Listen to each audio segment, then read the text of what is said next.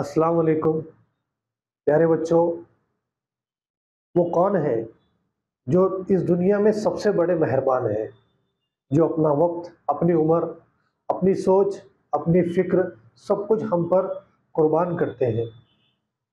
बाद अल्लाह के हमारी हर ज़रूरत पूरी करते हैं, हमारी हिफाजत करते हैं, और वो भी बिना किसी लालच के। प्यारे बच्चों, पैदा होने से लेकर बड़े होने तक हमारी हर छोटी बड़ी ज़रूरत का ख्याल करते हैं। हमें वो सब कुछ सिखाते हैं जो हमारे लिए फ़ायदेमंद है। तो बताओ वो कौन है? वो हमारे माँ बाप हैं। तो प्यारे बच्चों, जमात चाहरुम की दरसी किताब में, मजमून उर्दू में आज हम नज़म माँ बाप पढ़ेंगे।